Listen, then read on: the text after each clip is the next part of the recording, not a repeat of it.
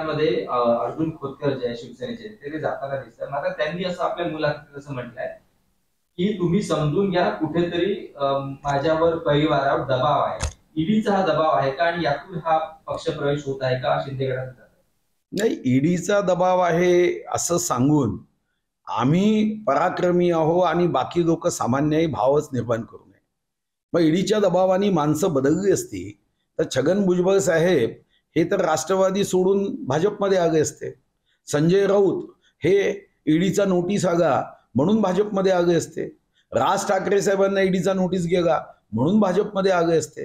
अनिल परब परबांना ईडीचा नोटीस गेला म्हणून भाजपमध्ये आगे असते. माझा व्यक्तिगत रीतीने वाटतं की स्वतःला महापराक्रमी समजायचं आणि दुसऱ्यांना ते जर विचार बदलत असेल भगवा हाती घेत असेल तर ईडीच्या दबावापोटी जातात. म्हणजे ते पराक्रमी नाही आहे ते डरपोक आहे. आणि हे गावातले सर्वात मोठे पराक्रमी आहे. हा भावच मुळीच चुकीचा आहे. हा ही गोष्ट असू शकते. अर्जुन खोतकर जर शिंदे साहेबांच्या सोबत जात असतील शिंदे साहेबांच्या सोबत शिवसेना मजबूत करण्याचा विचार असेल त्या एकच कारण असू शकतं.